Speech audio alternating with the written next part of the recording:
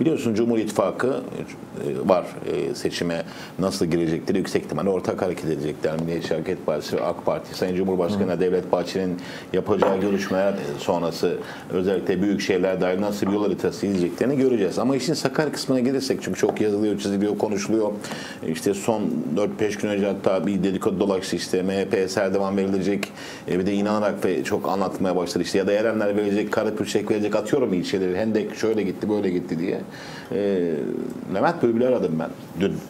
E, MHP Grup Başkan Vekili ve Sakarya Milletvekili. Dedim ki e, siz çünkü heyet içerisinde Ali İhsan Yavuz ile Sakarya Genel Başkan Yardımcısı artık milletvekili değil Ali İhsan Yavuz ile Levent Bülbül de olacak. Siz dedim Sakarya ile ilgili Levent Bülbül ve e, Ali İhsan Yavuz bir araya geldiniz. Konuştunuz mu bu şeyle ilgili?